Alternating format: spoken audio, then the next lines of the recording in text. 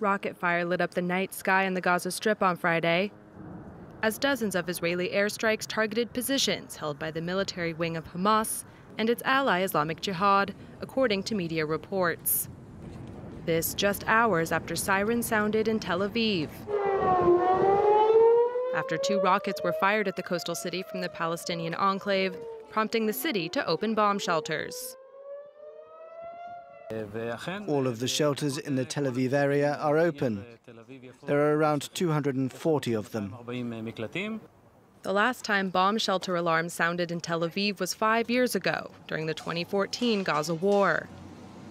The attack on the city caught some residents off guard. I heard the rocket and I heard the, uh, the siren going off.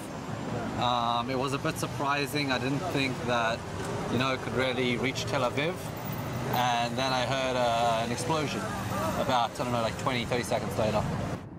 The Israeli military said its aerial defense system intercepted one of the rockets and blamed the attack on Hamas, claims the group has denied. Friday's strikes came just one day after Egyptian mediators visited Gaza, as Cairo launched a fresh bid to broker a lasting ceasefire between Hamas and Israel.